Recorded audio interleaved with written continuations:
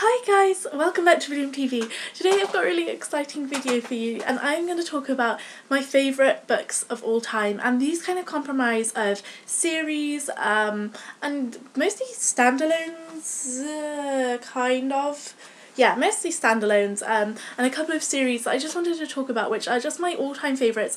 Some of them I talk a lot of, about a lot on my channel, others I don't and I've actually got 10 here. Um, I'd say about five of them are those all-time favourite standalone books and the others are like very very slightly lower but they're all favourites um some of them I've reread others I've just reread parts of. Some of them I one of these series is very unexpected and I've reread it about 10 times. You probably all guess what it is. Um I just wanted to talk about them because as I said I just wanted to let you know um this will probably change but a lot of these I feel like they won't change. These aren't just kind of like one time favourites these are books that I think will always be important to me and they're important to me for certain reasons. So I'm just going to get started because I've got 10 books here. So the first book is the one that I don't think will be any surprise to anybody and it's Harry Potter the whole series. I'm just holding up this book because I have they are so heavy when you all hold up all seven of them together. Um, this is the first one um, Harry Potter and the Philosopher's Stone as you can all tell my editions are completely falling apart. Um, one of, I think this one's the one that has a, yeah, missing page. Oh, it's not a missing page. This is actually comes out. You have to be so careful when you read it. I'm contemplating sellotaping it, but that's the thing I hate is most is sellotaping books. This doesn't really need an explanation. I just wanted to briefly say that it was on this list and that I wasn't forgetting it. I've reread this series over 10 times. I've watched the films a lot. I just love it. It is my childhood let's move on. The other book is one I think I've talked about quite a lot as well on my channel and it was my first book that I ever really loved apart from Harry Potter in my like earlier years as a teen and it is How I Live Now by Meg Rosoff. I just love Meg Rosoff as a person and as an author. I've met her actually. She's so lovely. She's wonderful. She's just a really lovely person. Look, there it says, it says Frank Harrod. Um, keep reading Meg Rosoff, which I feel is very something that I take to heart every day. I am always reading. Um, this is a book that is actually just, well, recently, a couple of years ago, was turned into a film with Saoirse Ronan. It's a really excellent film adaptation, so if you haven't watched that, I'd recommend that as well. Um, and this is about a 15 year old girl called Daisy who's from New York who goes to live in England, rural England, um, kind of because she's fallen out with her family, her dad and her stepdad. Her mum died when she was a baby, and she goes to visit and live with her family and then war breaks out and you don't really know much about the war um, it's World War Three. That's all you know, and you know that England has and Britain has been invaded by um, armed troops from the opposite side, um, and yeah, the opposition, and it's about that, and it's about family and love and loss and survival, and it is so excellent. I love it so very much. I just was engrossed in this book. I've read it a lot of times since then. I've watched the film quite a few times as well. Um, and it's just so excellent. The writing is beautiful. Um, Daisy does kind of have like there's tricks like trigger warnings for eating disorders in this book, um, and blood at some points, um, especially the film. It, the film is very gritty. Um, so just be aware of that. It wasn't something that I was originally noticed uh, when I first read it because I read this when I was about 13 for the first time. And I wasn't something I did notice, but the more I've noticed it, you definitely notice it more once you read it and it's just something to be aware of going in. And I get asked a lot about this edition. It's a paperback. I actually bought it when I was abroad on holiday I think in Italy in an English speaking an English bookshop abroad like when I was on holiday with my family. So um, I don't know much about this edition but I love it and I can't stop rambling about it because it's beautiful and signed and I'd never ever get rid of this. The next book I want to talk about is one that I don't talk about, about on my channel and it is when God Was a Rabbit, this is by Sarah Winman. It's the only book that I've actually read by Sarah Winman. Oh, this is very well loved. Um, not perhaps well loved as Harry Potter, but when I first read this, I then gave it to my parents. Um, I gave it to my dad to read. I gave it to my mum to read. Um, because I loved it so very much. It's an excellent book. It's an adult. It's kind of I would, I don't know. Like the writing makes me think it's literary fiction, but it's just fiction. Um, it's about two sisters, Jo and Ellie. Yes, that is what I think. Um, and just about them growing up, and it has magical realism in it. It is so very, very wonderful. It is just beautiful. It expands them growing up in them being into their kind of mid adult, kind of in their 30s. And I can't say how much this was a good book. I just recommend it to everybody. This cover is gorgeous. There's also a US hardcover or paperback which has a really nice cover as well. Saw it on Book Depository the other day. Was contemplating buying it. But this one's really lovely as well, and I just recommend this book so many times, and it's just really beautiful. I can't recommend it enough. The third book I'm going to talk about, I think I've also talked about quite a lot. It is The Sky is Everywhere by Jandy Nelson. This is a very old UK first edition. Um, it has recently had a lot of cover revamps, especially in the UK and the US. And this has gained a lot of popularity recently um, because um, Jandy's second book, I'll Give You the Sun, received the Printz Award and also the another award I think in America, which is really great. Um, her other book is also a favourite of mine, but I want to talk about this one. I read this when I was about thirteen as well, quite soon to the time that I read How I Live Now, and this has had th- probably one of the books that's had the most impact on me as a person. I just love this book. Um, it's about a girl called Lenny whose sister dies at the very beginning of the book, and Lenny kind of is struggling to come to terms with the grief, and it is about family and about losing someone that is very close to you and the grieving process, but also developing new relationships with other people. The romance is still one of my favourite romances of all times. It's so stunning, and there's also poetry in here. Um, also, my one of my bestest friends, Alice, read this recently um, because I gave it to her for Christmas and she loved it too, and I was so glad. And it's got these amazing poems in it. Um, my edition was thoroughly ruined when I reread this um, when I was about 14 for the third time, I think. I decided that it would be a great idea to write in it with orange fine liner and also underline things. Just lyrics to things. I wrote all these weird poems in there. Um, which I slightly regret doing. But I love this edition so much that I don't ever want to get rid of it, and also no one ever wants to read my dodgy teenage poetry. Um, I'd highly recommend this. I know a lot of people probably know about this by now, but I still wanted to talk about it. And another book that I don't see very much love for on BookTube, but I know is a very popular author, is The Impossible Knife of Memory by Laurie Halse Anderson. This is a newer favourite.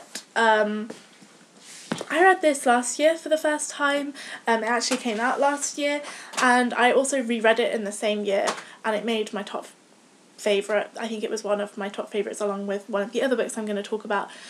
This is such a stunning book. It's about Haley, whose dad has PTSD after going on, I think, believe two or three tours of Iraq or Afghanistan and her suffering from that she never really went to conventional high school and she's put into conventional high school in her final year because her dad's decided she needs to settle down if she's going to go to college or do something with her life that's not going around in a truck with her dad because her dad was a truck driver after he came home from Iraq.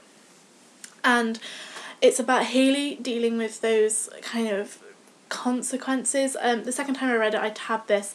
This also has one of my favourite romances of all time, and my favourite, probably one of my all time favourite male protagonists, which is Finn. He is such a brilliant character. I love him. If I could marry him, I would, but I wouldn't want to steal him from Haley. Um, and this is just a beautiful book. The writing is stunning.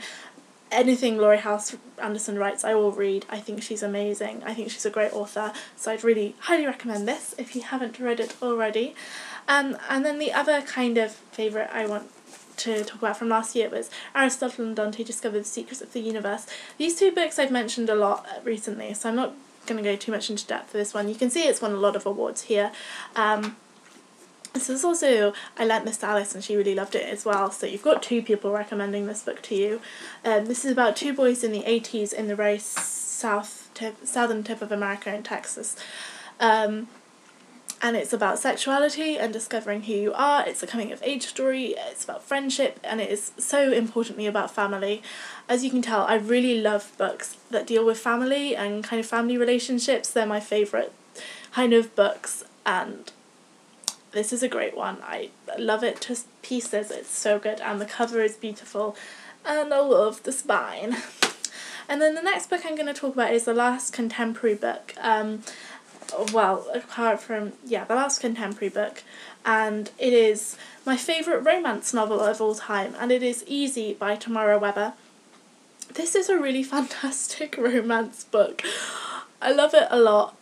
I know a lot of people probably don't like this kind of thing. It's a new adult romance.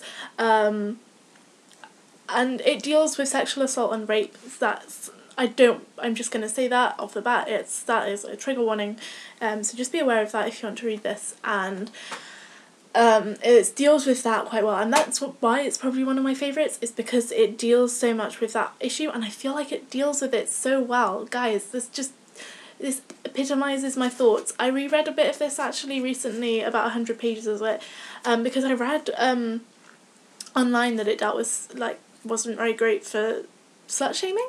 And that's actually something I didn't pick up on the first time I read it because I was saying really engrossed and wasn't really noticing small things. So that is the fault that I have with it. Um it does it does contain slut shaming. It's not very prominent but it is there. Um but I feel like that's an issue with a lot of books not one that belong, belongs singularly to this novel but the romance in this is fantastic it is my favourite romance of all time I love Lucas, I love Jacqueline, they're fabulous. Um, there's actually a do like this is a duology, but the other book's a companion novel following the same plot, and I hate books like that, so I don't know if I'd ever pick that up, but just be aware of that, and it's great. Please let me know if you've read it so we can fangirl about it in the comments. Um, the next book is another one it is a fantasy book and it is a standalone. It's The Scorpio Races by Maggie Stiefvater. Again, this has quite a lot of knowledge about it on the booktubes. Um, this is about an island where there is magical horses that come out of the water and every year there is a competition to see if you can like tame one of these horses and then ride them in the race and there's a lot of prize money to be won if you win the race but it's very dangerous and a lot of people die or get seriously injured. And this follows our main protagonist Puck and also Sean and they both are competing in the race and for different reasons and it's about their relationship. It's fabulous. The imagery in this book is the best imagery I've ever read. It reads like you're watching a film. And I know a lot of books are like that, but this is so beautifully written that you it is literally just like seeing all this beautiful cinematography of like some island off the north of England like Lindisfarne or something. And it is so beautiful and I just love it so much. I love Maggie Stiefvater as a writer anyway, but this is probably my favourite by her. I have reread it many times and I love it. Highly recommend. The next book I've actually done a series review on, so I'm not going to talk about it too much, but it is Soulless by Gail Carriger, the first book in the Parasol Protectorate series. It is no secret that I am massively obsessed with Gail Carriger. I love her. I think she's a fabulous person, as well as being a fabulous author. I'm not going to say too much about this because I have done a non spoiler review of the whole series, but I love this. I love all the characters, I love the world, I love the world very much it is just great and I cannot ramble on about it enough. My mum actually just read Soulless recently on my insistence. Um, actually, I wasn't, she just came into my room and was like, oh yeah, I want to read Soulless. I was like, I have done my job as a daughter um, by recommending that book to her and she really enjoyed it too. So, yay! The next book I'm going to talk about is also one my mum has read and it's just kind of just symbolic of general this author and it is Clockwork Angel by Cassandra Clare. Um, this is the first book in the Infernal Devices trilogy. Um, this is the first chronological series that takes place in the Shadowhunter Chronicles, um, although chronologically not what the first one written. This is again signed and personalised because I met Cassandra Clare last year and it was a brilliant experience. Um, this is a historical fiction trilogy. You probably all know what it's about. There's my rest of my Cassandra Clare books there. This is so great. I love this more than the Mortal Instruments, although I very much so love the Mortal Instruments too. Cassandra Clare is a genius. She is my favourite person for witty dialogue. Her witty dialogue is the best witty dialogue apart from perhaps Gail Carriger, um, they both excel at those two things and they excel at making very funny characters who are adorable and lovely and so lovable. And the relationships in this particular series are heartbreaking. The epilogue of Clockwork Princess epilogue, that is all I need to say. If you've read the series, you will know the feels are real. Um, the last book I'm talking, going to talk about is actually the last one in the series, but it's the only one I own in a series, and it is Bitter Blue by Kristin Cashore. Um, I have read this whole trilogy. It's called the Graceling Realm trilogy, I believe. Um, it's by Kristin Cashore. The first one is Graceling, the second is Fire, and this is the third one, Bitter Blue. They don't follow in that chronological order like a time period, but that's the order that you're supposed to read them in. I love Graceling, it's probably my favourite. It's basically a high fantasy young adult trilogy that deals with very good issues that I think, and I think all young women should read this, as well as reading Easy, which is uh, on the whole a very good book for dealing with like sexual assault and rape. This is a very good book for just dealing with problems which I think a lot of young women encounter, and it is excellent. I love it so much. I think it could be a bit more diverse, but generally it's got a lot of good characters. Like a lot of there's quite a few LGBTQ characters across the series.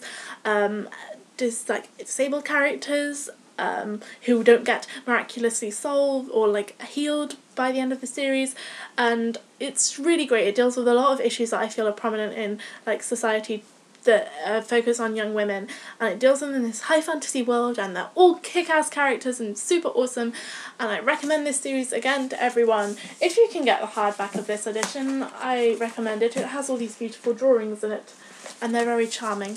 Um, I just highly recommend this. It's so great. And that is it for my favourite all-time books. Uh, let me know if you've read any of these and what you thought of them and I'll see you again soon for another video.